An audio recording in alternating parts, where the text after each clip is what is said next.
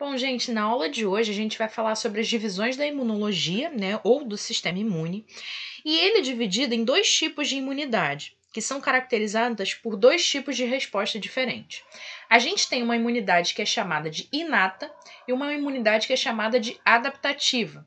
Na imunidade inata, ela tem uma resposta inespecífica e pode ser dada por barreiras naturais ou processos inflamatórios. A resposta adaptativa já é uma resposta específica e é mediada pelos linfócitos, ou reconhecendo diretamente o antígeno ou produzindo anticorpos. A partir de agora, a gente vai desmembrar esses dois tipos de imunidade e, e falar um pouquinho sobre cada uma delas. A gente começa falando sobre a resposta imune inata ou natural.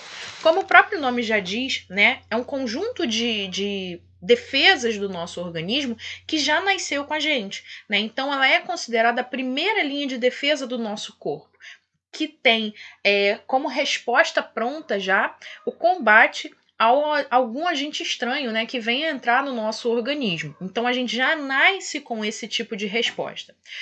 Ela é uma resposta rápida, só que pelo fato de já nascer com a gente ser muito rápida, ela não tem ação específica, né? Ela vai atuar da mesma maneira, independente de quem seja o antígeno que esteja entrando naquele organismo, né? Se for uma bactéria, se for um vírus, se for um fungo, né? Se for uma toxina qualquer, ela vai agir da mesma, da mesma maneira. Ela não tem diferenciação, né? No tipo de resposta, tá? É, específica para cada um desses grupos. Ela é representada por barreiras físicas, barreiras químicas, né, barreiras biológicas, por células, por moléculas que estão presentes em todos os indivíduos. Então, é a composição do nosso corpo, né? São os nossos órgãos, os nossos tecidos, tipos celulares, né? É, é, produtos que são gerados ali, sintetizados dentro do nosso organismo, que vão ser utilizados no combate aos agentes estranhos. E ela tem como característica, né, além de não ser específica, ela não guarda memória imunológica, que é diferente, por exemplo, da produção de anticorpos, que é o que a gente vai discutir mais para frente, tá? Quando a gente fala em produção de anticorpos, eu tenho uma produção de um anticorpo específico para cada tipo de antígeno, né? Que foi o que a gente discutiu, inclusive, na nossa aula anterior. Aqui não.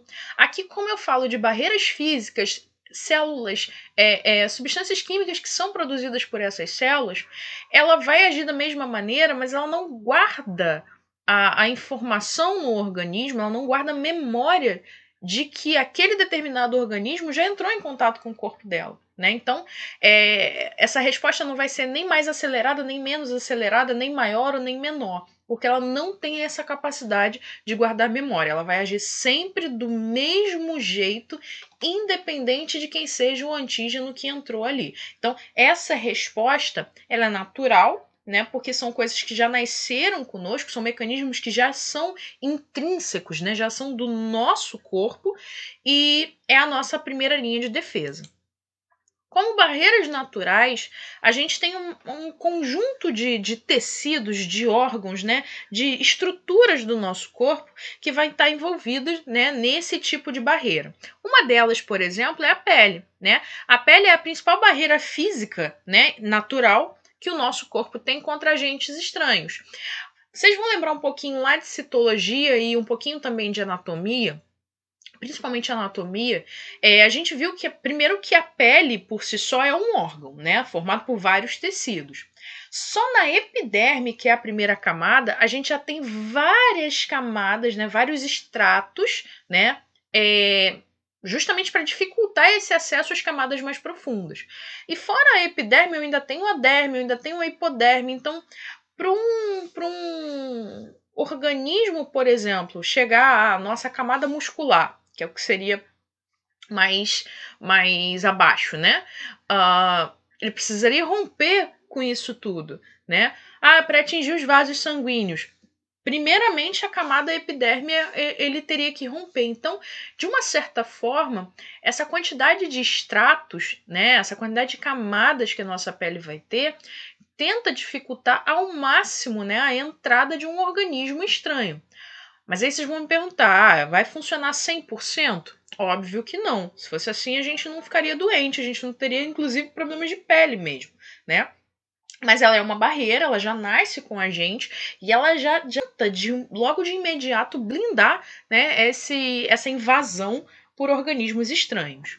Os cílios, né? Os cílios são mecanismos de proteção aos nossos olhos, impedindo a entrada de pequenas partículas e, em alguns casos, até mesmo de pequenos insetos, né?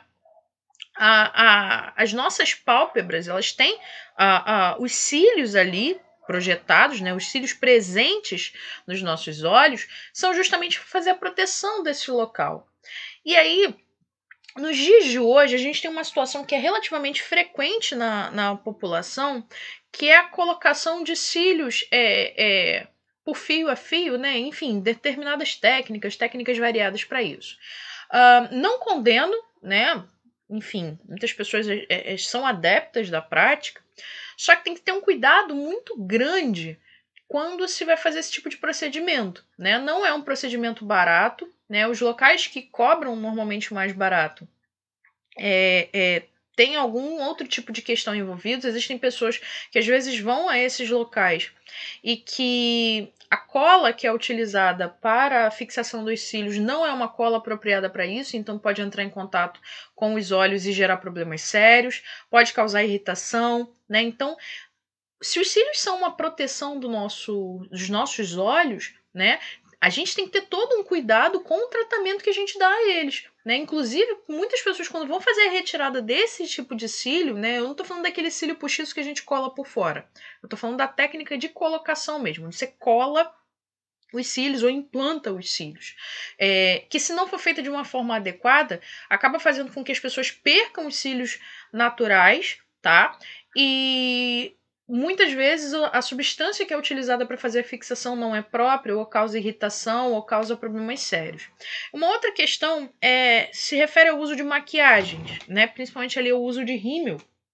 É, não se deve dormir com essas maquiagens, né? Porque ou usar esse tipo de maquiagem durante muito tempo, porque acaba favorecendo a, a fixação de alguns micro-organismos, né? E aí a gente estaria ali prejudicando algo que seria uma proteção dos nossos olhos. Então é bom ficar ligado aí porque é uma defesa, tá? A lágrima né? A lágrima é, é uma secreção do nosso corpo que faz a limpeza e a lubrificação da região dos olhos, ajudando a proteger ali o globo ocular das infecções, né? Inclusive, a, o percentual de sal que a nossa lágrima tem é justamente para isso, né? Ele tem ação ali é, para limpeza, para eliminação de bactérias, desinfecção, né? E o lacrimejar que vai gerando aquele resíduo, né? É, é justamente para fazer essa limpeza e o, a, o, próprio formato dos nossos olhos já é para que o corpo consiga fazer essa eliminação de uma forma é, mais rápida, né? A gente diz que os nossos olhos têm forma de calha, né? A lágrima é produzida de um lado e ela vem lavando né? Não precisa ser lágrima quanto choro, né? Aquela coisa escorrendo, mas o, o, o nosso nosso poro lacrimal, né? O local ali por onde vai sair a lágrima, uh, que é um buraquinho que a gente tem bem na região dos olhos, provavelmente vocês já viram, se não viram é só esticar os olhos na frente do espelho que vocês vão ver que a gente tem um furinho, né, que é por onde a lágrima sai.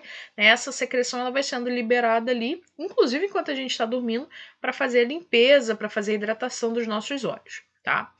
Uh, o muco é, o muco é um líquido, né? Na verdade, é uma substância pegajosa, viscosa, né? Que é produzida pelo nosso organismo e tem a função de impedir que os micro-organismos entrem no sistema respiratório. Por exemplo, a gente não tem muco só no sistema respiratório, mas o muco do sistema respiratório é muito mais fácil da gente ver, né? O muco do sistema respiratório é o que a gente conhece vulgarmente pelo nome de catarro tá? Então, o muco em si é essa secreção mais pegajosa, que é diferente, por exemplo, da coriza, né? A coriza normalmente é aquela aguinha, né, que fica escorrendo ali, enchendo a paciência da gente, mas o muco não é, é aquela secreção mais consistente. Tanto é que a, a cor do muco, e aí eu tô falando isso para o sistema respiratório, mas daqui a pouquinho vou falar em relação a outro aspecto, né? A coloração do nosso muco nasal, né, o muco respiratório, é indicativo do que está acontecendo no nosso organismo. Às vezes a pessoa tem sintomas e às vezes confunde resfriado, alergia, a, é, gripe, né, infecções, né, que possam estar cometendo ali o trato respiratório. E às vezes sai mais esbranquiçado, às vezes mais amarelado, às vezes verde bem escuro, um verde menos intenso, né? A presença de, de, de muco, né, de secreção com coloração, como amarelado, como esverdeado, é indicativo de processos infecciosos, né? Normalmente um pouco mais esbranquiçada e não tão espessa, é, tem uma certa característica de processos alérgicos tá? Então, assim, é, é até importante da gente observar, viu? Que principalmente em crianças, né? Porque a criança por si só, às vezes, ela não vai avaliando isso. Mas você olhar e ver uma, uma consistência, às vezes em forma de bola mesmo, como se fosse um, um bolo saindo de uma vez só. E com cor é, bem intensa, né, ou diferente do habitual, é importante fazer exames melhores, né, para avaliar o que, que se tem ali, porque pode ser um indicativo de uma infecção um pouco mais séria. Presença de sangue, né? É, há que se avaliar também o tipo de sangue que a gente está observando, né? Muitas vezes você está ali resfriado, né? E, e, acaba espirrando e tudo mais. Às vezes rompem pequenos vasinhos sanguíneos e aí quando você vai assoar o nariz, você vê alguns focos de sangue. Só que é um, é um sangramento um pouco mais é, intenso, né? Aquele vermelho vivo, como se fossem raios, né? Ou às vezes até mesmo saindo da garganta, em alguns processos de, de faringite, por exemplo. Mas uh, se essa placa de sangue começa a sair com mais intensidade, né, não na forma de foco, mas como uma intensidade grande, isso pode ser indicativo de problemas mais sérios na região do pulmão, como por exemplo até mesmo tuberculose. Né? Então, é, observar o muco é importante para avaliar a nossa saúde. E eu estava falando a respeito do muco é, da, do sistema respiratório as mulheres produzem um muco na região vaginal também, né? E essas secreções é, da região vaginal, é, elas têm características diferentes. Existe, por exemplo, aquela secreção que está mais relacionada ao período de ovulação, existe secreção que está um pouco mais relacionada à própria microbiota da região vaginal, e a gente já discutiu isso na parte de introdução à microbiologia, né? Que a vagina por si só é um local onde vivem os lactobacilos, que são responsáveis pelo equilíbrio do pH vaginal. Uma vez ou outra essa flora está um pouco aumentada, o que não quer dizer que seja uma infecção, né? É, faz parte mesmo daquele ciclo da mulher. Só que se esse muco, se essa substância começa a ter coloração diferente, odor desagradável, né? Pode ser um indicativo ali de uma infecção, de uma vaginite, né? De um processo infeccioso nessa região. Então, isso serve tanto para o sistema respiratório quanto para o muco da região é, genital, tá? As próprias plaquetas, né, também são outras, outro tipo de barreira natural, né? As plaquetas, elas vão atuar ali na coagulação do sangue, né, que diante de um ferimento elas produzem uma rede de fios para impedir a passagem das hemácias para reter o sangue. Parem e prestem atenção na função das plaquetas, né? Elas são barreiras naturais, atuam na coagulação do sangue diante de um ferimento, né? Elas vão produzir aquela rede de fibrina né? Que vai ali segurar as hemácias para que a gente não tenha uma hemorragia, por exemplo. Né? O sangue, a gente, ao popular, estancar o sangramento. E aí, depois de um tempo, essa rede de fibrina, né, mais aquelas hemácias ali que já entraram em contato com ar, vira a famosa casquinha do seu machucado, né? E aí, o que, que as pessoas fazem com a casquinha do machucado? Vão lá e tiram Imagine se eu fosse uma plaqueta dentro do corpo, essa hora eu estaria fazendo o caminho contrário na corrente sanguínea. O trabalho danado que a plaqueta tem, né, para ativar ali toda a cascata de coagulação do sangue para formar. Se vocês já passaram por hematologia, vocês já falaram sobre a parte de coagulação. Quem não passou ainda vai passar. Mas para resumir o processo, existe toda uma cascata de coagulação ativada pelas pelas nossas plaquetas, para que isso se desencadeie no final das contas, né, no, em fechar o local do ferimento, né, e eu ter ali a, a, a defesa do organismo. Aí o ser humano vai lá e arranca tudo o que o corpo fez para fechar o local do ferimento. É o equivalente a você ter na tua casa, você tá se sentindo não muito seguro, né? E aí você gastou um trabalho danado erguendo um muro em volta da sua casa inteira para se sentir protegido. E aí vem um sujeito de fora e marreta o teu muro inteiro e bota o muro abaixo. Cadê a tua proteção? Foi embora. É o que acontece aqui no caso das plaquetas. Aí você vai lá e ainda tem gente que vai um pouco pior, né? Vai com a mão suja, dente, enfim, arranca a casca do machucado de qualquer forma. E aí, quando faz isso, não só você eliminou tudo que estava ali, como muitas vezes na própria hora de arrancar a casquinha do ferimento, você machuca de novo, porque não estava ali totalmente fechado por baixo. E aí você tem uma nova porta de entrada e aí, ó, puf, entrou uma bactéria no teu organismo e desencadeia um problema sério, né? Ou então você mesmo com a mão sem higiene adequada ou num local não adequado, né? É, aliás, gente, a gente está passando assim por um momento onde, gente, onde as medidas de higiene são é, é, discutidas assim ao máximo, né? Então a, a, gente espera que a população a partir de agora se conscientize das medidas básicas de higiene. Mas eu estou falando isso em relação à casca de ferimento, mas isso serve para qualquer outra coisa, né? Espremer cravos e espinhas que a gente sabe que não deve ser feito. Mas às vezes você está ali passando na rua, tem alguém no ponto do ônibus estourando a espinha. No ponto do ônibus, com a mão que pegou no dinheiro, que comeu um salgadinho, que fez tudo o dia inteiro vai lá no rosto de outra pessoa para exprimir uma espinha, vai lá para arrancar a casquinha de um machucado. Tá contaminando, né? E aí depois às vezes acaba tendo uma infecção e não sabe por quê. Então assim, é... lidar com a... o nosso corpo, principalmente onde ferimentos são provocados, né? Se fosse assim, o médico não, não usava luva quando fosse quando vai fazer um procedimento qualquer. Não pode, gente. Tem que ter um cuidado muito grande, porque aí pode pegar uma infecção séria e que pode ser até fatal, né? Todo mundo já ouviu uma história de que alguém conhece alguém que perdeu alguém da família porque estourou uma espinha. E acontece, não é brincadeira, né? Infecções podem generalizar e podem levar à morte, tá? Então, o papel das nossas plaquetas, né? Vou voltar para as plaquetas, é justamente ali ajudar a reter o sangue a saliva, né?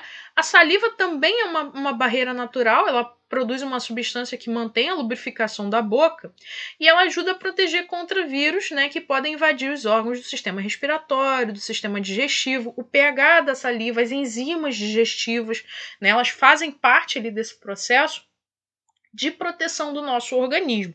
Não vai sair por aí dizendo que eu falei que era para lamber ferimento, tá? A gente é ser humano não precisa disso. Mas os animais, é, eles lambem o ferimento por conta de justamente a saliva ter essa, essas substâncias que vão ajudar ali na cicatrização, né? É, e a, fazer a limpeza desse ferimento. O cachorro, a gente vê muito isso, né? O gato, quando tá ferido, também faz isso, né? Então a, a, é uma forma deles sozinhos, né? Tentarem ali limpar. Ah, professor, então você está querendo dizer que basta ali o animal lamber o local do ferimento que está tudo certo. Não, não tá. Eu falei que existem é, mecanismos de defesa, mas se esses mecanismos vão ser suficientemente bons para eliminar tudo, aí são outros 500. É a mesma história lá da nossa pele. E como eu disse, o animal faz isso porque ele não consegue sozinho fazer a desinfecção utilizando outra coisa. A gente consegue né? Então não é para sair por aí lambendo ferimento dizendo que aprendeu na aula de imunologia que saliva, né, ajuda a fazer a desinfecção. Não foi isso que eu falei. Eu falei que ela tem, né, as suas, suas barreiras naturais, mas no nosso caso a gente tem outras formas de fazer desinfecção de ferimentos, né? O uso, por exemplo, do álcool 70, né, soluções à base de iodo, entre outras que a gente já discutiu inclusive na aula de química. O suco gástrico né, que a gente já falou dele várias e várias vezes. O suco gástrico ali é um líquido produzido pelo estômago e ele tem uh, uma substância chamada ácido clorídrico. Então, só para a gente relembrar, ácido clorídrico é um componente, é uma substância. Suco gástrico é a mistura de tudo. É onde eu tenho o ácido clorídrico mais as enzimas, né? O suco estomacal. É só a gente lembrar o nome suco, né? Suco é uma mistura. E porque ele é muito ácido, né, ou seja, tem um pH muito baixo, ele impede ali a proliferação de micro-organismos. Ah, então vai funcionar, esse vai funcionar 100%. Também não, a gente já falou lá sobre a H. pylori, que é uma bactéria que consegue chegar até o estômago, né? Porém, né, é uma das poucas que consegue fazer isso, né? Então, o pH estomacal, né, pela ação do suco gástrico, já tenta ali blindar é, alguns micro-organismos que passam ali pelo nosso trato digestivo. E aí eu tô falando de micro-organismos, mas obviamente não todos. A gente vai ter presença, inclusive, de alguns vermes, tá? Que podem acabar é, retornando à região estomacal, tá? É, quando a gente é, se infecta, por exemplo, por algum tipo de parasita, né? A ingestão dos ovos dos vermes, ela acontece, vai parar no estômago para depois seguir o caminho lá do intestino. Então, assim, é uma barreira, mas a gente sabe que não é 100% eficiente, mas é uma das proteções que o nosso corpo tem. O suor, né? O suor ele produz ali ácidos graxos que ajudam a pele a impedir a entrada de fungos, tá? Pela própria pele. Então, a própria composição do suor também, né, é, pela presença dos sais, né, além, além da questão de baixar a, a, temperatura do corpo, né, regular a temperatura do corpo, ele ajuda com que não se proliferem é, alguns tipos de micro-organismos. Tudo bem? Então, todas essas barreiras que eu falei aí são grandes tecidos, órgãos, enfim, é, substâncias, né? São é, coisas do nosso corpo que vão ajudar na imunidade, vão nos proteger. Só que a gente também tem células que participam desse processo, né? A gente tem células, por exemplo, como os neutrófilos, como os macrófagos, como os eosinófilos, que a gente já falou em vários outros momentos, em várias outras disciplinas, inclusive, que esses tipos de células estão associados a determinados processos que vão acontecer no nosso corpo, como por exemplo a fagocitose, como o ataque a vermes, né, que a gente viu inclusive na aula anterior, né, a, a os eosinófilos ali atacando a, o verme, né, o parasito que estava dentro do organismo. Mas só para a gente relembrar, né? Quando eu falei de fagocitose, a fagocitose é o englobamento, né? A digestão de partículas estranhas, micro-organismos, é, tecidos lesionados, mortos, tá? por células que emitem pseudópodes, são falsos pés. Resumindo, a gente já falou sobre isso lá em citologia, a gente viu que em determinados momentos a célula consegue expandir né, o seu citoplasma e junto com ele a sua membrana plasmática, né? E essa expansão, essa projeção da célula, a gente chama de pseudópode. Quando ela emite esses pseudópodes, né, quando ela se expande, ela engloba a partícula estranha, que normalmente é grande, tá?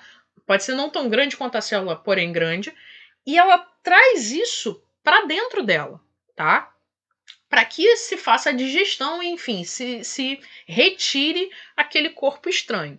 A fagocitose é um processo de digestão celular. Então, ela serve tanto para que essa questão de defesa quanto para a questão de nutrição da célula. Então, ela pode usar isso para as duas vias. Nesse caso aqui, nessa disciplina, a gente está falando para fagocitose é, enquanto defesa, tá? Na corrente sanguínea, uh, ela ocorre quando o sistema imune identifica um corpo estranho, né, um antígeno, que vai ser englobado ou digerido pelos leucócitos, né? Então, os leucócitos eles são as células de defesa do nosso organismo e dentro dos leucócitos eu tenho grupos que vão fazer fagocitose, como por exemplo neutrófilos, como os monócitos, tá? No tecido, quem faz a fagocitose é uma célula chamada macrófago, tá?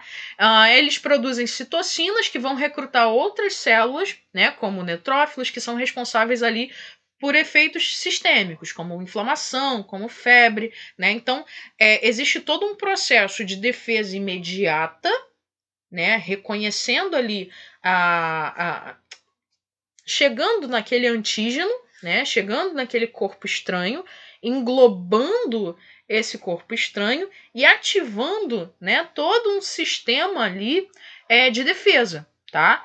E isso mediado por processos que temos no nosso organismo sem esse grau de especificidade. A inflamação ela acontece, o processo inflamatório ele vai acontecer uh, sem distinção de quem chegou lá, se foi um vírus, se foi uma bactéria, qual bactéria que foi, se foi uma partícula estranha, como por exemplo uma farpa que tem entrado ali, eh, contaminada ou não contaminada, enfim, é um corpo estranho, chegou lá naquele organismo, tá? É... Um grande aumento dos leucócitos no sangue ele indica um processo infeccioso. Há um limite também, tá, gente?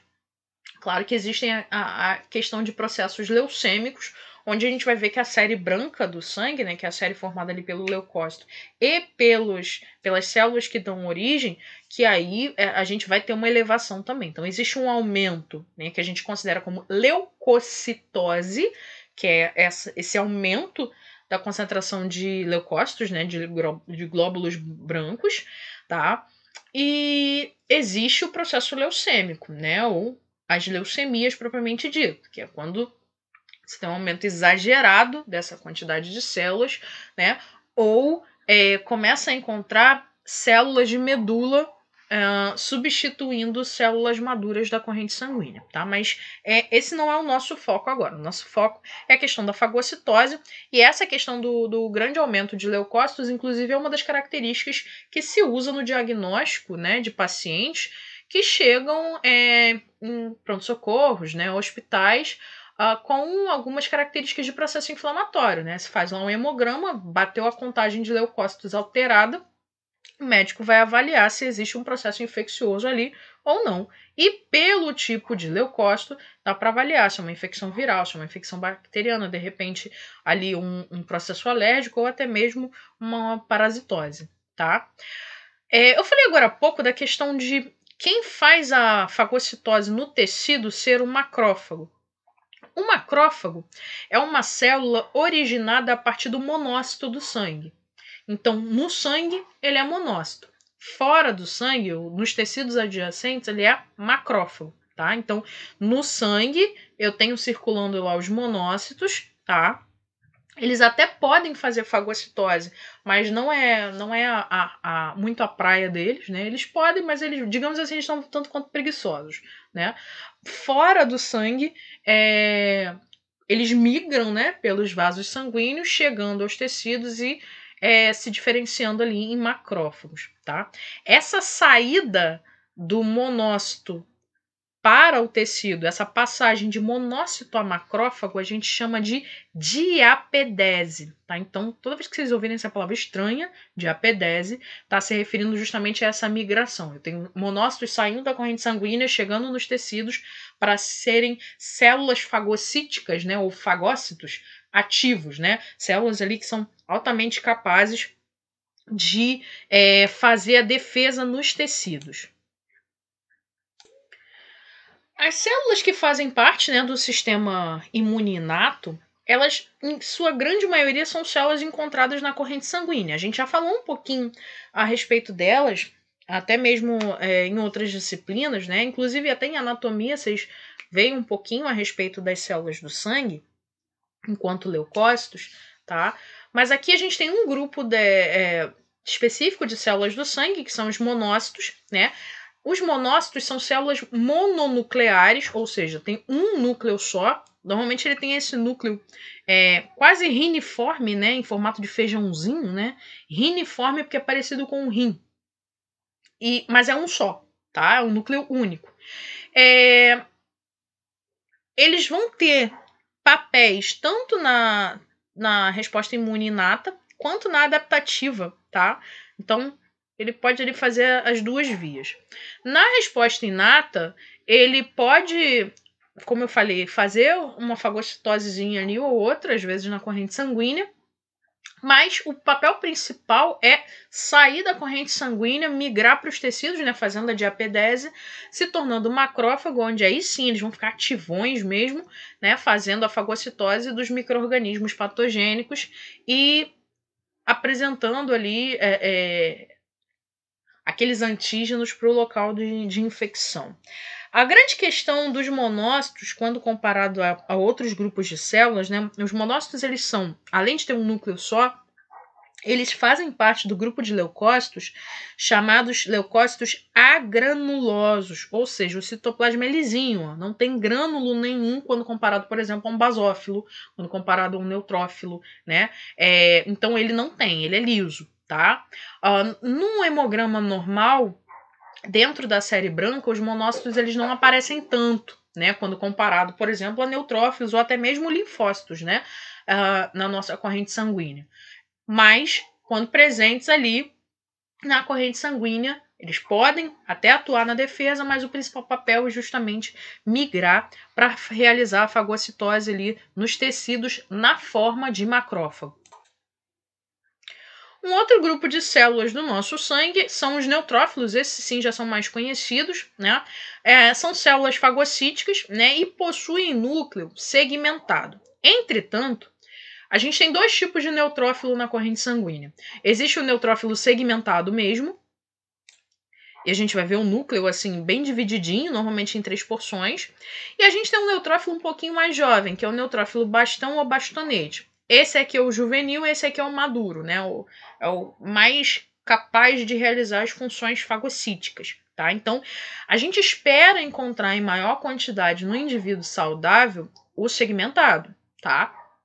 Se eu começo a achar uma quantidade de bastões mais elevada, indica que eu tenho um processo infeccioso numa fase aguda, ou seja, a, as células jovens estão chegando em grande quantidade para poder dar conta né, daquela infecção que está tá acontecendo ali no organismo. Então, a ordem é uma grande quantidade de segmentados e uma pequena quantidade de bastões. Se o padrão se inverte, né, é um indicativo ali de um processo infeccioso, tá?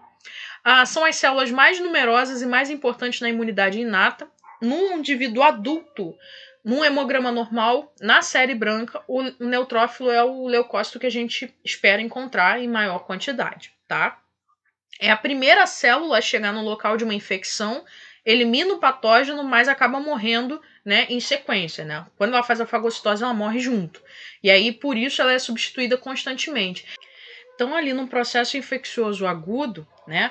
Uh, o neutrófilo vai chegar tentando destruir o, o agente causador da infecção, só que como ele morre né, nesse processo, outros leucócitos precisam ocupar o lugar, outros neutrófilos, né, melhor dizendo, precisam ocupar esse lugar. E aí, se essa infecção não consegue ser combatida a tempo, muitas vezes não dá tempo de amadurecer a célula suficiente, é onde a gente tem um aumento da concentração de neutrófilos do tipo bastão. A gente também tem os eosinófilos, né, que são tipos de leucócito também. E elas têm esse nome justamente porque elas têm uma forte cor alaranjada ou até mesmo rosada, né, depois da coloração com o corante eosina. Então, o citoplasma ele fica com uma cor diferenciada em relação aos neutrófilos, por exemplo.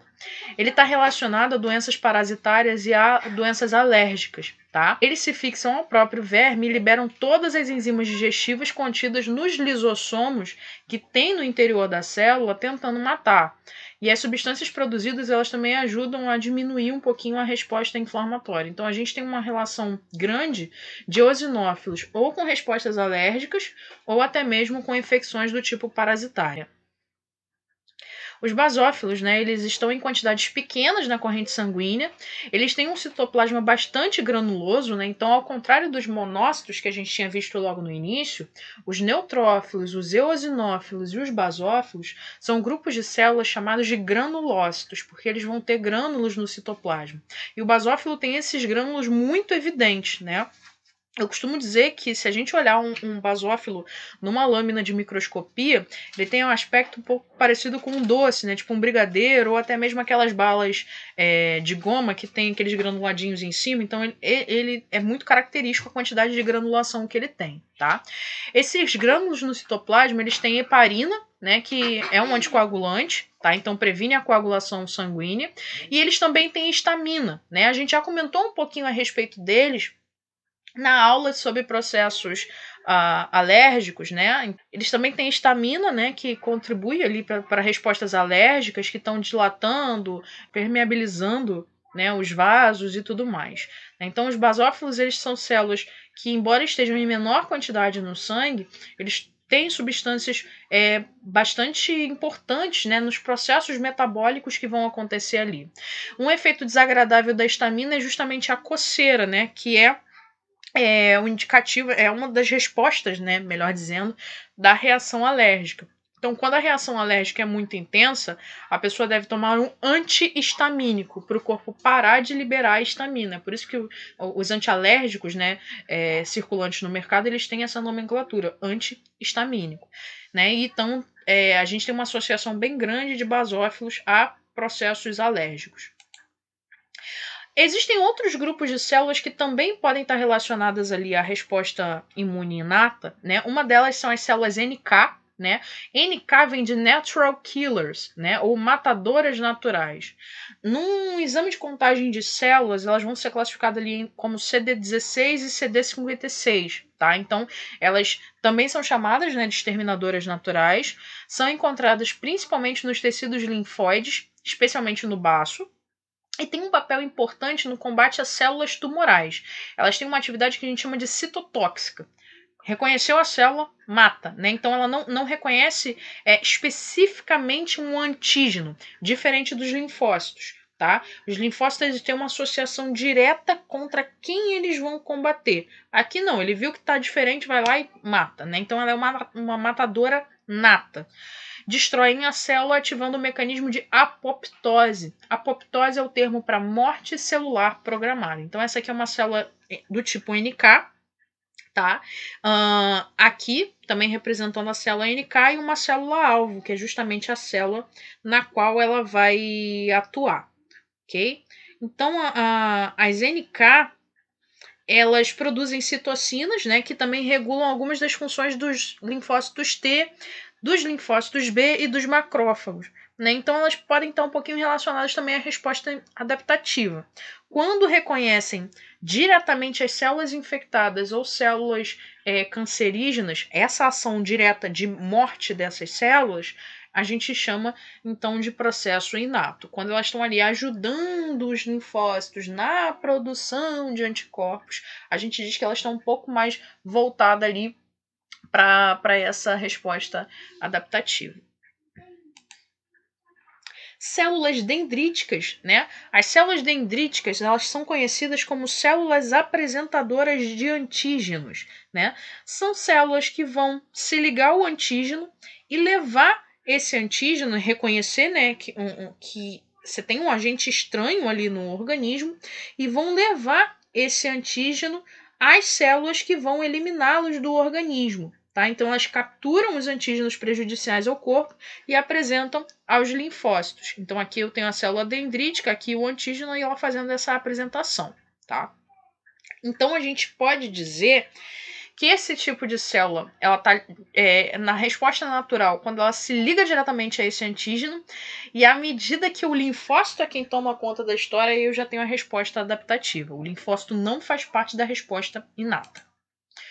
A gente pode ter também os mastócitos, que são derivados das células CD34 da medula óssea. Tá?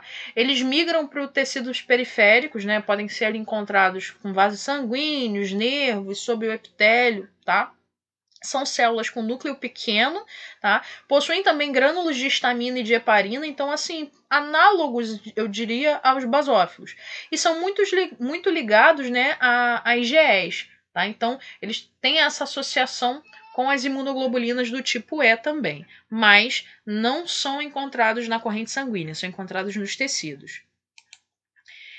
Em algumas situações, a gente pode ter ativação de um chamado sistema complemento. Tá? O sistema complemento ele também não é específico da resposta inata. Ele pode estar presente nas duas. Depende do tipo de via é, de ativação do complemento e depende da resposta que esse sistema complemento vai dar. O sistema complemento é uma família de mais de 20 glicoproteínas plasmáticas que são produzidas principalmente no fígado, mas podem ser ali é, produzidas pelos macrófagos ou até mesmo outros grupos celulares. E, na verdade, esse sistema ele tem um, um, um, sistema de ativação em forma de cascata. Né? Uma proteína vai ativando a outra, vai ativando a outra e assim por diante, por isso que a gente chama de cascata do complemento. É, como eu falei para vocês, ela pode estar presente nos dois tipos de imunidade. Né? Uh, na inata, ela vai esse sistema vai atuar eliminando micro-organismos, atraindo neutrófilos e macrófagos para o local da infecção e neutralizando o vírus. Então, quando a ação do sistema complemento é direta em cima do antígeno, tentando eliminar ali logo no, no foco, né, eu tenho ele participando da resposta imune inata. Tá? Então, aqui, ó, atuando nas células-alvo diretamente, ajudando ali no processo de fagocitose, atraindo ali uh, neutrófilos, né, é, macrófagos para o local da infecção, tá? Mas eu posso ter o, o sistema complemento também associado ali a processos de formação dos anticorpos, por exemplo. Aí, no caso envolvendo anticorpos, eu já tenho a resposta imune do tipo adaptativa, tá? a gente viu aqui, o papel das células da resposta imune inata ou das barreiras da resposta imune inata, tentando ali resolver o problema antes que o quadro se agrave no organismo, tá? Em muitos casos, os antígenos que invadem o nosso corpo são combatidos e eliminados por essas próprias células, e aí não tem mais o que fazer. Mas muitas vezes também esse microorganismo se torna persistente, ou então às vezes ele é muito resistente ou muito forte, ou está em grande quantidade. E aí a resposta imuninata ela não dá conta de todo esse processo. É onde entra em ação a resposta adaptativa, tá? Dentro ainda do mecanismo de resposta imuninata, a gente tem um processo de inflamação. A inflamação é uma reação imediata dos organismos vivos, né, do nosso corpo, do nosso organismo, a uma lesão celular. A função do processo inflamatório é conter e isolar os microrganismos através do reconhecimento desse antígeno, para que o sistema imune produza mediadores químicos para tentar neutralizar ou minimizar o avanço do processo inflamatório. Então, assim, a inflamação por si só é um mecanismo de defesa. Vocês podem estar perguntando, poxa, mas é um mecanismo de defesa, mas é, é uma situação tão chata, é dolorosa, forma pus, né? É estranho para o meu organismo. É estranho, mas faz parte. É toda uma ativação que o nosso organismo tem para tentar eliminar quem é que está causando a, a infecção, né? Quem é que está ali invadindo o corpo, tá? No local da reação antígeno, né, as células dos capilares sanguíneos próximos, elas perdem um pouco da adesão entre si, né? E isso faz com que a, a, a passagem da célula do sangue é, para fora, né, para os tecidos, fique fácil. Então aqui a gente tem uma representação, ó. O macrófago é aderindo ao antígeno, tá? O microorganismo ele estimula o macrófago, essa ligação aqui do microorganismo com o macrófago estimula a liberação de citocinas e quimiocinas, que são substâncias ali que vão estar tá atuando nesse processo, tá? Essas citocinas e essas quimiocinas elas vão atuar promovendo é, é, situações do vaso sanguíneo, como vasodilatação, aumento dessa permeabilidade do capilar sanguíneo. Então, aqui, ó, essa permeabilidade faz com que as células do sangue consigam passar, né, para o local da infecção, deixando esse, é, fazendo essa migração, né, saindo desse tecido para ajudar lá no combate à infecção, como outros monócitos para poder se tornarem macrófagos, como neutrófilos saindo desse local de infecção, tá? E com o aumento da, da do vaso sanguíneo, né, como essa vasodilatação, o local ele vai ficar vermelho, vai ficar inchado e vai ficar quente, tá? E essa migração de macrófagos e, e neutrófilos, elas liberam também mediadores, né, que vão causar dor. Então aqui a gente tem um resumão de como que acontece o processo inflamatório, né? Eu tenho ali um invasor, o macrófago reconheceu aquele invasor. Ao mesmo tempo que ele reconheceu aquele invasor, ele vai ali é, mandando informações químicas para outras células e essas, essas informações químicas elas promovem aumento da permeabilidade do vaso sanguíneo para que essas células migrem com mais facilidade e vão promover também o aumento do tamanho do vaso sanguíneo, que é o que a gente chama de vasodilatação. E com essa vasodilatação, né, se eu tenho um aumento do vaso sanguíneo, chega mais sangue. Se chega mais sangue, eu vou ver vermelho. Se eu tenho um aumento do vaso sanguíneo, eu tenho a criação de um edema que é o que a gente chama de inchaço. E vai ficar quente porque o sangue transporta calor. E fora isso, eu tenho uma atividade louca de células migrando ali para aquele local. Então, isso faz com que eu tenha é, características de um processo inflamatório. Então, a gente diz que a inflamação ela tem cinco sinais principais: calor, rubor, edema, dor e perda de função todos esses sintomas eles são mediados por aquela ação que a gente comentou agora há pouco. Então, por exemplo, o calor ele é perceptível nas superfícies corporais, né, decorrentes ali do aumento da quantidade de sangue circulante. Eu aumentei o vaso sanguíneo, mais sangue está chegando lá e essa condição eu chamo de hiperemia, né? O sangue chegou mais no local, tá? Uh, e com isso eu tenho um metabolismo celular aumentado. Tá? Então, chegou mais calor, né? Por conta de mais sangue chegando ali e por conta da atividade celular no local. Essa atividade metabólica gera mais calor. O rubor, né? O rubor é a mesma coisa que vermelhidão. Se eu tenho uma vasodilatação, eu aumentei o fluxo sanguíneo. É natural que o local fique vermelho. Né? O edema, que é o inchaço. Se eu tenho a vasodilatação, ocorre ali o extravasamento de líquidos, né? devido ao acúmulo anormal de líquido extracelular. Ocorre uma condição chamada de quimiotaxia, né? que é um processo onde as células vão em direção ao antígeno através dessa liberação que a gente comentou das quimiocinas e das citocinas, tá? Então, ele vem permitindo ali a migração de outras células para o local inflamado. Então, além de eu ter aumentado o vaso sanguíneo, que vai empurrando tudo que é célula que está junto, né? Eu preciso. É, é, esse inchaço é decorrente ali dessa migração também. Eu tenho um aumento de células num determinado local.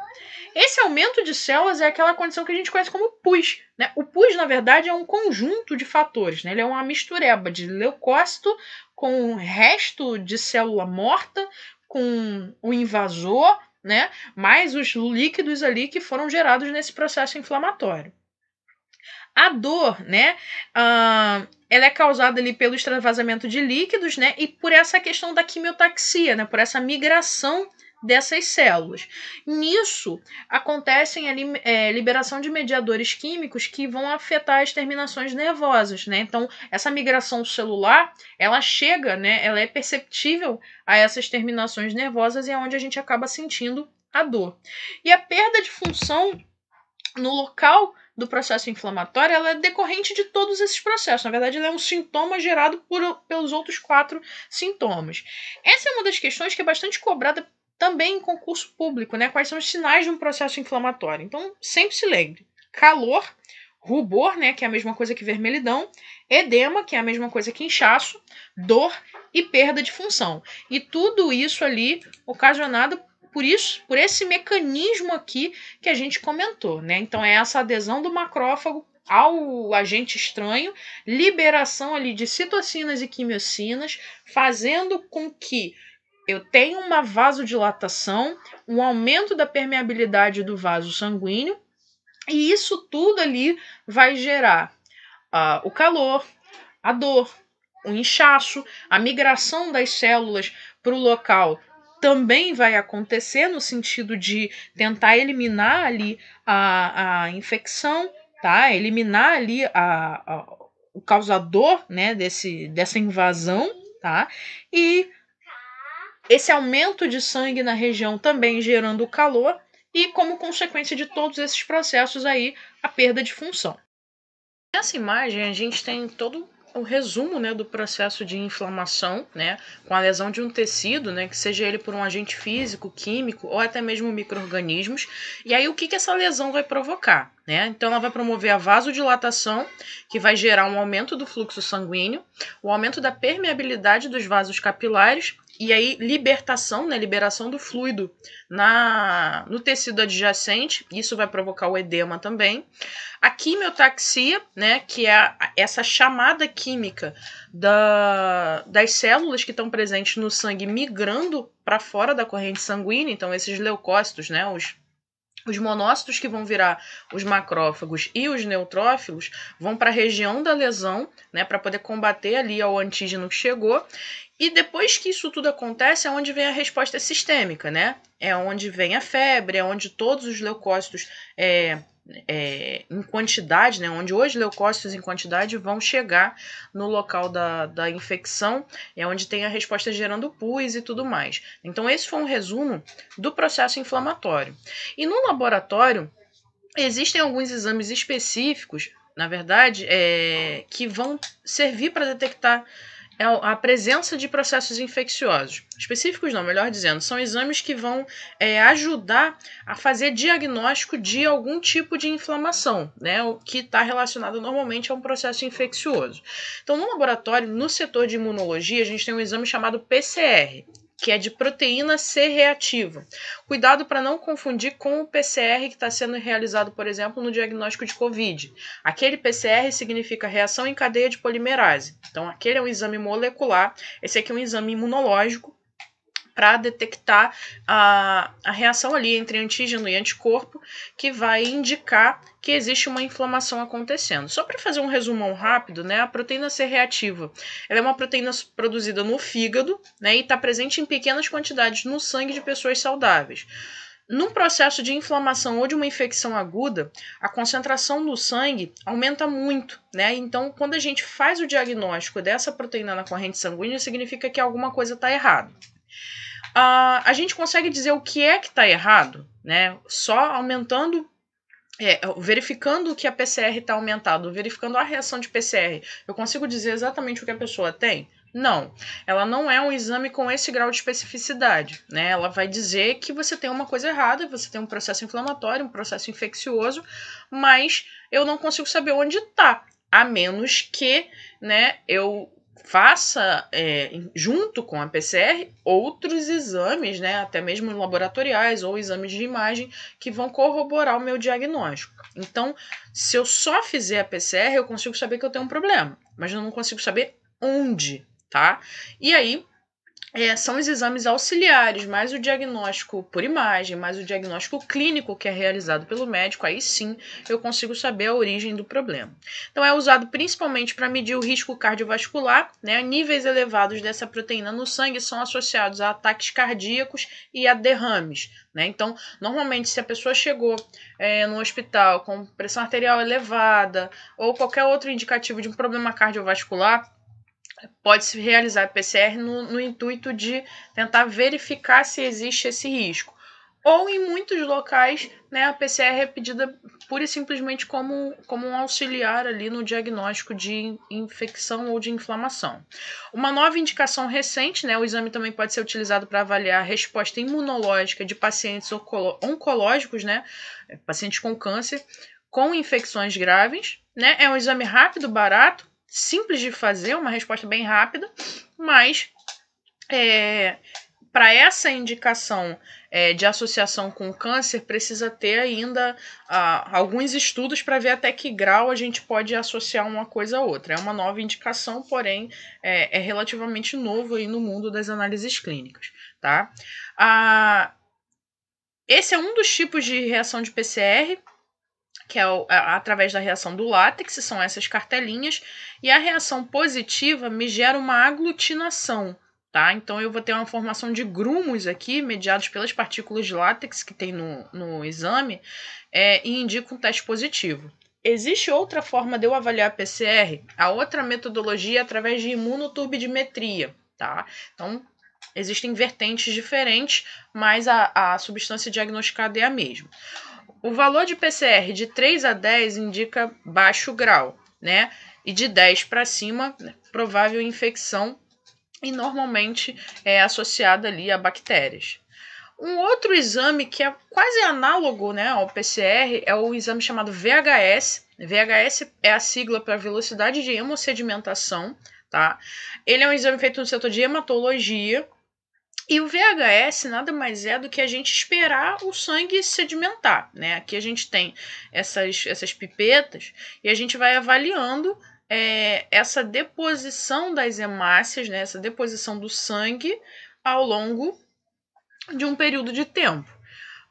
Em situações onde o VHS aumenta, né? Onde é, é, é você tem um, um, fluxo maior, um tempo é, maior, essa velocidade maior, perdão, né, é indicativo de infecção viral ou bacteriana. Então, por exemplo, se a pessoa estiver gripada, se ela tiver com uma faringite, uma amidalite, uma sinusite, eu vou, se eu fizer o exame de VHS, eu vou ter uma alteração, que é uma resposta do organismo a essa condição de infecção. Vou achar também na pneumonia, infecção urinária, diarreia. Então, assim, muitas coisas podem alterar o VHS. E da mesma forma que a gente acabou de falar da PCR, se eu só realizar o VHS, eu sei que tem uma coisa errada. Mas como que eu vou saber, né? se ele vai se alterar em diarreia, se ele vai se alterar uh, na infecção urinária, se ele vai se alterar na pneumonia, né? Então, são muitos, muitos casos e muitas coisas diferentes que vão alterar de igual maneira. Então, a gente vai precisar de outros exames para complementar o diagnóstico, tá? Aí vocês podem estar se perguntando assim: poxa, mas se é infecção urinária, a pessoa não sabe que é infecção urinária? Sim, né? Normalmente ela vai estar ali sentindo sintomas e tudo mais associados ao trato urinário. Se fizer o VHS vai dar alterado, então só corroborou que tem uma, um processo inflamatório infeccioso ali na região. O problema tá é que se a gente considera toda a região urinária, eu não consigo dizer onde é que está o problema. Eu não sei quem é a bactéria que está lá. Então, eu não posso tratar um, um, uma condição dessa pura e simplesmente baseado no diagnóstico de um VHS. Eu tenho que partir mais aprofundadamente para descobrir quem é que está lá, quem é a bactéria. E aí eu vou fazer uma urocultura, né? É, se eu identifiquei a bactéria, vou fazer um antibiograma, né, para ver qual é o melhor antibiótico. Enfim, tem uma série de outros exames. O que eu quero dizer é o seguinte: PCR e VHS são exames que não são para a gente bater o martelo e dizer que, que a pessoa está sentindo ou o que, que a pessoa tem, na verdade. Né? Nem o médico vai fazer esse diagnóstico usando somente esses dois exames. Eles são exames para ajudar a gente entender a condição que está acontecendo no organismo, tá? Mas não são solicitados sozinhos. O valor de referência do VHS nos homens de uma hora é até 15 milímetros, em mulheres até 20, tá? Uh, após duas horas, é, até 20 milímetros nos homens e 25 milímetros nas mulheres. Nas crianças, os valores ficam entre 3 a 13 milímetros, ok? A gente falou da resposta imune inata, né? Então, todo esse processo de células, processo inflamatório e tudo mais, é uma resposta que já existe no nosso corpo para combater a um agente estranho, né? Junta as nossas células com as nossas barreiras naturais. Então, são coisas que já nasceram com a gente, já nasceu com elas, prontas para o combate, literalmente. Só que tem um outro resposta que é chamada de resposta imune adaptativa, ou a gente pode chamar também de imunidade adquirida. Por quê? É uma defesa que a gente vai adquirindo ao longo da vida, né? Como, por exemplo, a produção de anticorpos, como, por exemplo, a produção de anticorpos mediante a resposta contra uma vacinação. Tá? É claro que a produção de anticorpos normalmente ela se dá de forma natural e a vacinação ela é gerada por um estímulo artificial. A gente vai discutir isso nas próximas aulas. Mas são mecanismos que são desenvolvidos né, para para que as pessoas consigam combater o agente infeccioso. No caso da vacinação, é você expor a pessoa àquele agente e estimular que o corpo produza os anticorpos contra aquele é, antígeno específico. Né? A imunidade adaptativa ela age diante de algum problema específico e vai depender das células especializadas. As células que estão relacionadas à resposta imune adaptativa são os linfócitos tá? A gente vai ter linfócitos que vão atuar diretamente destruindo células e outros linfócitos que vão atuar produzindo anticorpos é, para que esses anticorpos combatam o processo, né? combatam o antígeno ou combatam é, o processo infeccioso que está sendo gerado ali. A diferença da resposta uh, imune adaptativa em relação à inata é que na adaptativa eu tenho uh, uma resposta que normalmente é mais tardia, você não tem produção de anticorpos, por exemplo, diretamente a partir do processo de exposição ao antígeno. A gente está discutindo isso bastante agora com a Covid-19. Se a gente pegar, por exemplo, um exame sorológico para fazer a detecção, se eu não tiver no tempo de produção da IgG, eu não vou conseguir detectar IgG, porque leva um tempo até que esses anticorpos sejam encontrados na corrente sanguínea. Então, ela não é uma resposta imediata do organismo. Outra questão. Como ela é uma resposta adaptativa, eu tenho uma resposta específica, diferente da resposta imune inata. Na resposta imune inata, independente de quem chegasse ali, o corpo vai agir da mesma forma. Aqui não. Eu tenho um grau de especificidade. Inclusive, a gente já comentou um pouquinho a respeito desse, dessa especificidade quando a gente falou dos anticorpos, né? A gente viu que existe uma produção de um anticorpo específico para cada antígeno que entra ali. E aí eu estou considerando os anticorpos, mas a imunidade celular também, nesse caso, ela também é, é específica. resposta ser gerada pelo nosso organismo, ela precisa ser ativada.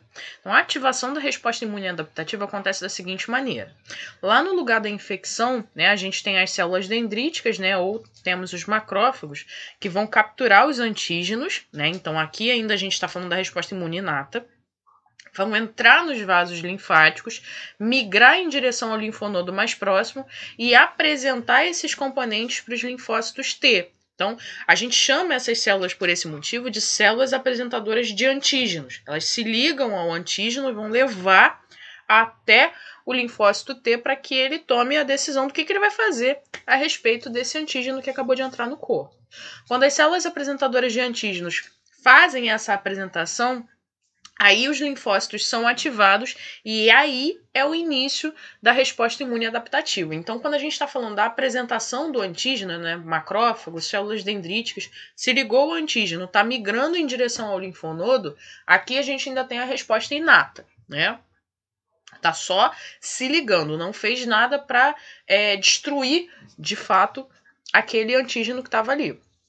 A partir do momento em que ela apresenta esse antígeno para o linfócito T, é onde o linfócito T começa a desencadear a resposta imune adaptativa. Então, a gente já passou de uma resposta para outro tipo de resposta. Então, aqui ó, a gente tem um resumão, um desenho mostrando mais ou menos como é que esse processo acontece. Ó. A célula dendrítica englobando o vírus, né, trazendo para o seu interior, ela processa né, esse antígeno e leva até o linfócito T a partícula que ele vai precisar utilizar né, para poder é, gerar a resposta adaptativa. Como a gente já falou, as células uh, que são é, responsáveis pela resposta imune adaptativa são os linfócitos. A gente tem três grupos de linfócitos, são os linfócitos B, os T, e muitos consideram as células NK como linfócitos também. Então, vai ficar uma ressalva. Algumas pessoas vão considerar, outros não, mas na resposta imune adaptativa, a gente vai falar dos linfócitos B e dos linfócitos T. Os linfócitos vão amadurecer, né, de acordo com a função. No sangue periférico, né, em porcentagem, os linfócitos B ficam em torno de 5, por, 5 a 15%, né, os linfócitos T de 75 a 85% e as células NK entre 5 e 10%. No sistema imunológico, essas células são responsáveis por reconhecer o antígeno e produzir a resposta imune, tá? Uh, as células do tipo NK, né, eles vão é, estar associados à apoptose, como a gente já falou anteriormente. Os linfócitos T, eles são produzidos na medula óssea, né, e em seguida eles vão migrar para amadurecer no timo, né, que a gente já discutiu lá na aula de órgãos linfóides. Com essa ativação, os linfócitos vão ficando maiores e começam a se multiplicar. Então, eles vão produzir milhares e milhares de clones que são capazes de ajudar na remoção do antígeno do interior do nosso organismo.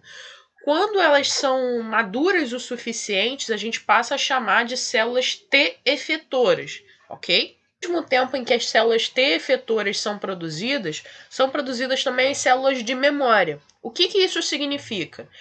Que a partir do momento em que ela se expôs a determinado antígeno, ela já se diferencia em tipos que vão atuar diretamente no combate e outros grupos de células que vão ser responsáveis por lembrar de quem é aquele antígeno para que numa próxima infecção pelo mesmo antígeno ela já saiba o que fazer. É por isso que a gente diz que a resposta imune adaptativa ela gera memória imunológica por conta da produção dessas células de memória produção aí de milhares de células, né, ela vai ser responsável por causar o inchaço dos linfonodos, que é percebido pelo caroço, né, é, nesses locais que a gente conhece vulgarmente como íngua. Né? O nome mais correto seria edema, né? por conta desse inchaço que tem lá. E esses milhões de linfócitos T ativados, eles vão sair dos linfonodos, entrar na circulação sanguínea e vão para o local da infecção. Né? Então, com a chegada desse reforço especializado, a maioria, na maioria dos casos, né, a, a, a infecção começa a ser controlada e o antígeno suprimido ali. As células T efetoras, elas então vão produzir moléculas que são necessárias para destruir né, esses patógenos, esses causadores de doença, e também para aumentar a potência da resposta imune. Tá? Dentro dos próprios tipos de linfócitos T, né, dentro dos linfócitos T, a gente tem tipos diferentes. Uh, os linfócitos T do tipo reguladores, né, ou T-regs, eles vão ajudar é, regulando o sistema imunológico inibindo a ação de outros linfócitos. Tá? Eles são responsáveis por liberar citocinas com ação anti-inflamatória, diminuindo o processo inflamatório, provocando ali a lise dessas células, tá? E são considerados ali anti-inflamatórios naturais. Como a gente já tinha falado do processo inflamatório fazer parte da resposta imune inata, é, esse processo inflamatório ele não pode seguir para sempre no nosso organismo, senão você vai ter um problema. Então, esses linfócitos T reguladores, eles vão atuar regulando essa resposta inflamatória, né? Controlando ali os linfócitos, não deixando acontecer as reações autoimunes. Né? O que, que é uma reação autoimune? É quando o corpo começa a destruir as próprias células, tá? Então, a gente pode dizer que, em parte, né, é, a, a função dos Treg é justamente regular a atividade da resposta imune que foi gerada lá pela forma inata né, do nosso sistema, mas vão regular essa questão do processo inflamatório. Uma alta quantidade de linfócitos T reguladores, né, uma alta atividade dos linfócitos T reguladores, está relacionada à formação de tumores e infecções crônicas. Uma baixa quantidade de T reguladores está relacionada a doenças autoimunes, alergias e rejeição a órgãos transplantados. Então, assim, nem de mais e nem de menos, né? A gente tem que ter uma quantidade suficiente dos T-reg justamente para poder estar é, tá regulando ali a ação do nosso próprio organismo. Os linfócitos T do tipo CD4, eles também são conhecidos como é, linfócitos auxiliares ou linfócitos T-helper. Acontece o seguinte: esses linfócitos vão ativar a, a, a resposta de outros grupos de linfócitos.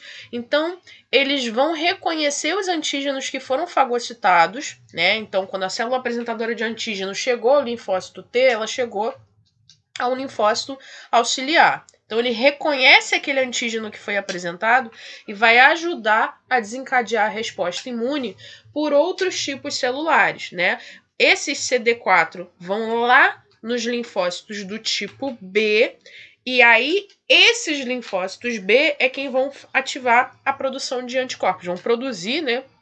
E vão liberar uh, anticorpos produzidos. Então, a gente pode dizer que a função dos CD4 é justamente reconhecer o antígeno apresentado, enviar essa resposta a um linfócito B e estimular a produção de anticorpos por um linfócito B, né? Então eles têm um papel central no controle e no desenvolvimento da resposta imune, tá? São ativados ali pelo reconhecimento do antígeno, né? E então esses linfócitos são ativados e induzidos a produzirem as substâncias, essas substâncias são as citocinas, tá? que vão agir ativando ali outras células da resposta imune, como a gente já comentou, vão ativar os linfócitos B, para que esses produzam os anticorpos e liberem na corrente sanguínea. Por isso, eles são auxiliares. De imediato, eles não combatem o antígeno, mas eles vão ativar o restante da resposta imune. Temos os linfócitos TCD8, que são chamados linfócitos citotóxicos. Tá? Eles são importantes no combate a infecções virais, né? Porque eles têm capacidade de reconhecer e destruir células infectadas por vírus. Tá? Então, ele se liga né, a essa célula infectada, libera uma substância chamada perforina, né, e essa célula infectada ela sofre morte celular programada, ela sofre o processo de apoptose e, consequentemente, ali o vírus é, é destruído. Só que aí temos uma questão. Nem sempre esse grupo de linfócito consegue eliminar né, o, o vírus que está ali dentro. Muitas vezes esse próprio mecanismo de defesa ele acaba servindo para que mais cópias virais sejam espalhadas ali pelo organismo. Então, quando ele consegue destruir a célula e o vírus junto, beleza, sanou o problema ali. Mas muitas vezes ele vai começar, vai tentar destruir a célula infectada, não consegue é, fazer a destruição do vírus e esse vírus se espalha, infectando cada vez mais novas células. Dentro dos linfócitos, né, dentro do grupo de linfócitos T, a gente vai ter os T-reg, né, os T-reguladores, que vão estar ali ajudando a regular a resposta imune é, do processo inflamatório. Os CD4, que são os T auxiliares, né, vão receber ali a informação das células apresentadoras de antígenos e através das citocinas vão atuar é, ativando outras células, né, para mediar a resposta imune. Essas outras células são os linfócitos B. Os TCD8 vão reconhecer células infectadas por vírus, e só para a gente relembrar, os vírus são parasitas intracelulares obrigatórios, ou seja, ele está no interior da célula, precisa estar no interior da célula para se reproduzir. Os citotóxicos, então, vão reconhecer essa célula infectada e destruir para poder eliminar o problema ali ou tentar eliminar o problema logo de imediato, tá? Então, dentro dos linfócitos T, temos os reguladores, os CD4 e os CD8. E a gente fala agora dos linfócitos B, né? É, todos os linfócitos B que reconheceram algum tipo de antígeno, eles se ativam, se multiplicam, produzem milhares de células que vão produzir anticorpos. Né? E lembrando que quando essas células estão ativas na produção de anticorpos, é, a gente chama de plasmócito. Né? Então, o citoplasma do plasmócito é um pouco diferenciado em relação ao, ao linfócito B, é, sem estar ali na produção ativa de anticorpos. E junto com os plasmócitos, ele também vai produzir células de memória, né? justamente para quando uh, o organismo entrar em contato com aquele causador de infecção, com aquele agente estranho novamente, o organismo já saber o que fazer. Então, vimos que a via de ativação dos linfócitos é bem parecida, assim, no sentido de que uh, uma parte dessas células vai se ativar e gerar células que são capazes de responder de imediato no combate à infecção, tá? no combate ao, ao, ao antígeno, né? ao causador dessa infecção, e uma outra parte gerando células de memória. Pode encontrar anticorpos como receptores específicos na membrana plasmática dos linfócitos, como a gente tem aqui, tá? ou dissolvidos no plasma sanguíneo, na lágrima, na saliva, no leite materno, na placenta, né, que resulta na transferência de anticorpos maternos, né, dando imunidade ao feto e ao recém-nascido. A gente já falou que o único anticorpo capaz de atravessar a placenta é a IgG, né? Mas no leite materno, né, é uma forma da mãe passar parte dessa imunidade para o bebê depois que ele nasceu. Tá? Então, dentro da, da, imunidade, da imunidade adaptativa, a gente vai ter uma resposta mediada por linfócitos, né? Essa resposta vai se adaptando ao antígeno que está ali, então ela é específica para aquele antígeno que chegou lá. É, pode produzir anticorpos quando é gerado através dos linfócitos B ou não, né? Sendo mediada ali pelos linfócitos T. A destruição já é de imediato, reconhecer o antígeno e o destrói. E nos dois casos ela guarda células de memória, tá? Então, numa nova infecção pelo mesmo tipo de antígeno, a resposta do organismo ela já tende a ser mais rápida. É por isso que a gente diz que essa resposta é específica e pelo fato de guardar memória, quando ela entra em contato com aquele mesmo causador daquela mesma doença, né, sendo exatamente o mesmo antígeno, ela já sabe o que fazer. Então, a resposta dada numa segunda ocasião, ela acaba sendo muito mais rápida, normalmente com sintomas é, menos perceptíveis pelo organismo. A gente diz que foi, ah, foi uma doença mais fraquinha, né? Ou às vezes até mesmo assintomática, porque o corpo já tratou ali de defender o organismo sem muitas vezes que aquele próprio organismo soubesse o que estava se passando lá imunidade adaptativa, né, imunidade adquirida, na verdade ela tem esse nome de adquirida porque ela é produzida à medida que o corpo entra em contato com aquele antígeno. Diferente da resposta imune inata, que já nasceu com a gente, né? E ela que. Não é que é ela que lute, né? Ela que se resolva ali para combater o antígeno que entrou. Dentro da resposta imune adaptativa ou adquirida, a gente tem dois tipos a gente tem uma resposta imune celular, tá? E uma resposta imune humoral, ou imunidade celular e imunidade humoral. A imunidade celular, né, ela é um mecanismo de defesa mediado por linfócitos T, né, mediado por células, especificamente pelos linfócitos T. E ela acontece né, quando os micro-organismos intracelulares, como é o caso do vírus, e até mesmo algumas bactérias, a gente tem bactérias, como é, por exemplo, o caso da clamídia, que é uma bactéria intracelular. Né? Ela é uma bactéria com comportamento de vírus, tá? Nesse sentido de precisar invadir uma célula. Os micro-organismos né, proliferam dentro das células hospedeiras, eles ficam inacessíveis para os anticorpos que são circulantes no organismo. E aí então entram em ação as, as células TCD8, né, as células T efetoras, promovendo ali a destruição do microorganismo ou a morte da célula infectada para eliminar a infecção. Então, essa imunidade é diretamente mediada e regulada pelos, pelas células do tipo TCD8.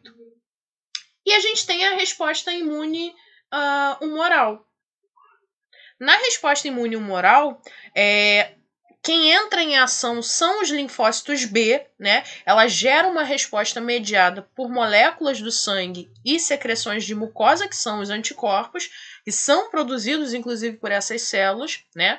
E é o principal mecanismo de defesa contra micro-organismos extracelulares e as toxinas desses micro-organismos. Então vamos fazer uma diferença aqui.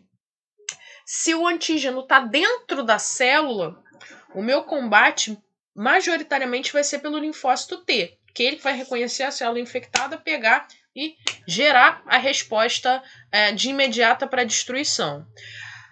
Contra os micro-organismos extracelulares, normalmente quem entra em ação são os anticorpos, tá? E aí esses anticorpos reconhecem os antígenos, né? Que são qualquer partícula estranha ao organismo, neutralizam a infecção e eliminam esses antígenos por diversos mecanismos, né? Então aqui a gente tem um esquema representando o linfócito B, né, com os seus anticorpos ligados à membrana. A partir do momento em que eles se encontram com o antígeno, ó, você tem uma ligação entre antígeno e anticorpo, e essa célula que entrou em contato com o antígeno, né, ela é estimulada e origina então os plasmócitos, que vão ser aqueles linfócitos ativos na produção desses anticorpos, e uma outra parte é guardada como é, célula de memória. Na verdade, embora ela seja efetivamente realizada pelos linfócitos B, ela envolve uma cooperação de quatro tipos de células: os macrófagos e as células dendríticas, além dos linfócitos T e dos linfócitos B. Quando os antígenos entram ali nos vasos linfáticos ou nos vasos sanguíneos, eles são levados para os linfonodos mais próximos ou então para o baço. Ocorre a mesma situação na imunidade celular, só que nesse caso são os linfócitos TCD4 que vão ativar uh, os linfócitos B. Né? Então, podem ser tanto macrófagos ou células dendríticas chegando lá apresentando esse antígeno ao linfócito, e esse linfócito ali é, liberando uh, o sinal de chamada, né, de, de atividade para os linfócitos T começarem a produzir uh, esses anticorpos. E a gente tem, né, na verdade, nesse tipo de resposta, alguns mecanismos de ação diferenciados. Tá? Uh, quando a gente tem o, o, linfócito B produzindo os anticorpos, a gente tem os plasmócitos que vão produzir ali e liberar esses anticorpos, e esse, esse mecanismo de ação ele pode tomar é, variáveis diferentes. Um deles é o mecanismo de neutralização, ó, vocês estão vendo aqui um, um, antígeno, nesse caso representado por uma bactéria, e ele completamente neutralizado aqui pela ação dos anticorpos, né? Então, na neutralização, os anticorpos se ligam ao redor do microorganismo, neutralizam e atrapalham as funções desse, desse microorganismo. Né? Ele não consegue se reproduzir, ele não consegue se locomover. Então, isso é neutralizar. Você é, é tornar neutro, né? Aquele microorganismo que está ali. Outro tipo de situação que acontece é chamado de opsonização. Na opsonização, eu tenho aqui é, um, um antígeno já neutralizado, né? E esse anticorpo vai chamar outras células para fazer a fagocitose. Então eu opsonizei aquele antígeno que estava lá. Ou então, esse anticorpo pode ativar o sistema complemento, né? Que vai aumentar a questão da opsonização, aumentar o processo de fagocitose, né? E, inclusive, ali destruir algumas bactérias. A gente já falou do sistema complemento lá na resposta imune uh, inata, e eu disse a vocês que ele também podia fazer parte da resposta imune adaptativa. Então, a partir do momento em que essa ativação do complemento ela se dá através da ação dos anticorpos, a gente tem o sistema complemento atuando na resposta imune adaptativa, tá? Então, para a gente fazer um resumão disso tudo que eu falei, a resposta imune do tipo celular, ela é mediada pelos linfócitos T citotóxicos, né? Aquele linfócito que vai reconhecer a célula infectada e vai destruir, né, para tentar eliminar o problema logo de imediato, tá? E a imunidade humoral, ela é mediada pela ação dos linfócitos B e com produção de anticorpos. O que vai desencadear essa produção dos linfócitos B, né, essa, essa, essa atividade dos linfócitos B, muitas vezes, é justamente a ativação pelos TCD4. Então vocês vão falar assim: ah, mas o linfócito T não está relacionado à imunidade celular? Sim, quando CD8. Enquanto o CD4, né, que são os T auxiliares, o CD4 ele vai ativar, através das citocinas, a produção dos anticorpos pelos linfócitos B, né? Os linfócitos B vão se diferenciar em plasmócitos e esses plasmócitos que são ativos vão gerar uh, uh, os anticorpos específicos para aquela situação. Resumo, né? Um resumo em imagem disso tudo que eu acabei de falar. Ó, uma bactéria entrando em ação no organismo, o macrófago, né, fazendo o reconhecimento dessa bactéria. Esse macrófago levando essa célula a um linfócito T auxiliar, o macrófago atuando ali então como célula apresentadora de antígeno. Esse linfócito T auxiliar vai ser ativado, vai liberar as citocinas, tá? Estimular os linfócitos B a, a, com seus anticorpos ali na membrana plasmática ao reconhecimento desse antígeno essa ligação do antígeno com o anticorpo na parede do linfócito B vai estimular ali a produção dos plasmócitos, né, que são os linfócitos B efetivos, produzindo, secretando ali a produção de anticorpos e se diferenciar também em células de memória. Então, nessa questão da, da memória imunológica, né, é, a memória ela vai ser produzida tanto pelos linfócitos T quanto pelos linfócitos B no final de uma resposta imune, né, quando a infecção já tiver é, terminado, quando ela já tiver acabado e com o antígeno já combatido, a maior parte dos linfócitos D e dos a maior parte dos linfócitos T e dos linfócitos B vão sofrer apoptose, vão morrer, né? E aqueles que vão sobrar são, são justamente os linfócitos de memória, que vão sobreviver ali por vários e vários anos.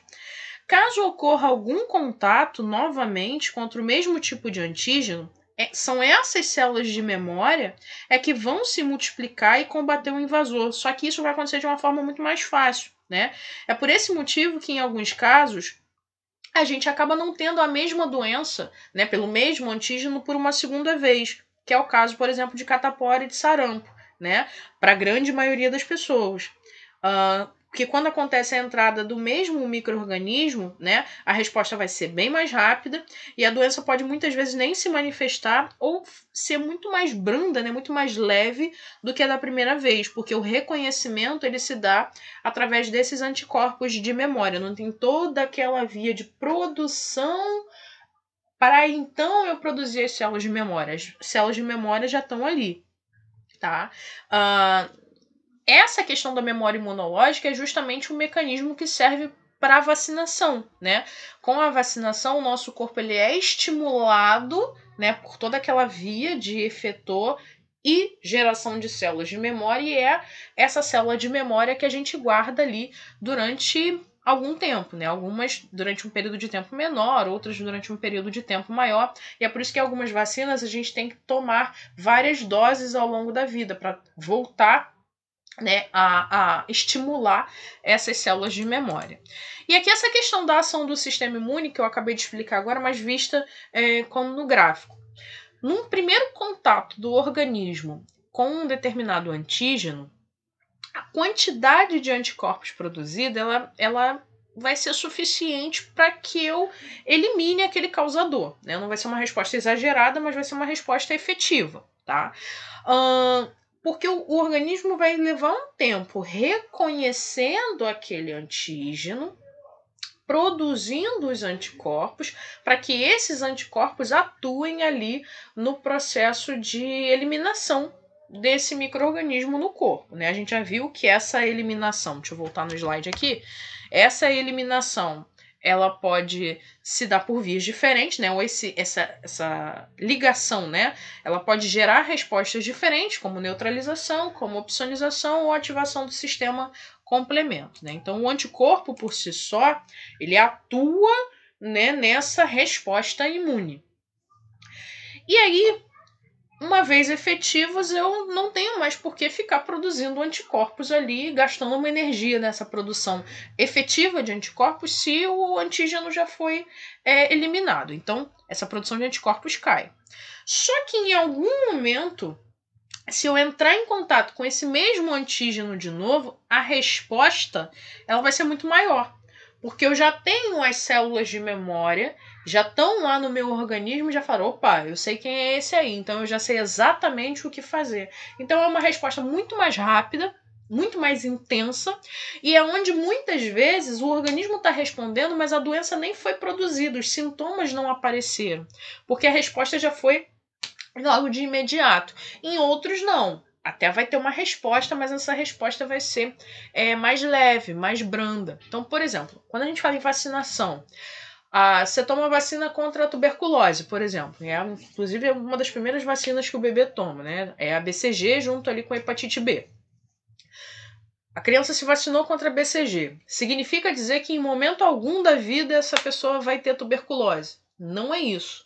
O que significa é que você recebeu aquele antígeno, o seu corpo foi estimulado a produzir os anticorpos, guardou células de memória para que quando ele entre em contato com a bactéria causadora da tuberculose novamente, ele já saiba o que fazer.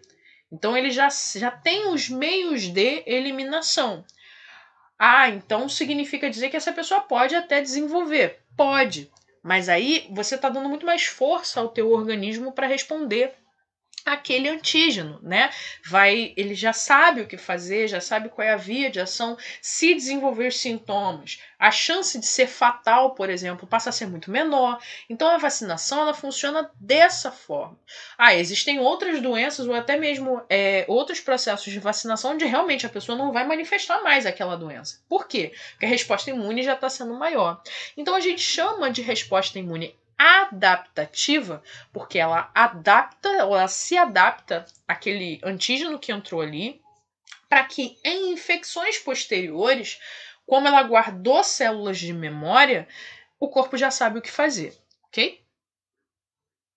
Na aula de hoje, então, discutimos a diferença da imunidade inata e da imunidade adaptativa, né?